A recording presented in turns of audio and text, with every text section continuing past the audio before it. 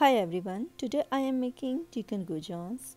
For this recipe you will need 1 egg, pinch of salt, 125 ml milk, 100 gram plain flour,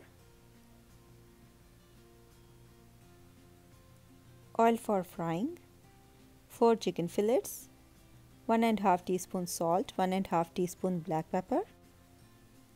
Sieve flour and salt into a bowl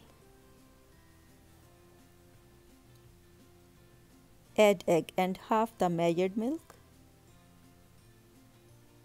Beat with the whisk until the batter is completely smooth. Add the rest of the milk, beat well.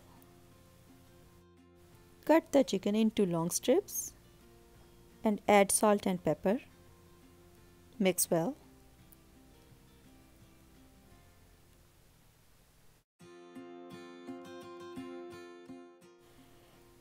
Coat the chicken with batter and fry until golden brown.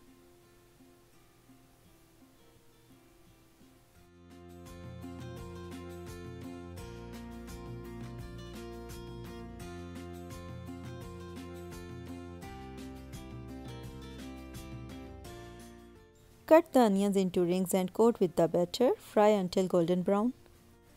You can freeze the goujons in an airtight container for up to 3 months. Thanks for watching. If you liked this video, give it a thumbs up and subscribe. See you next time.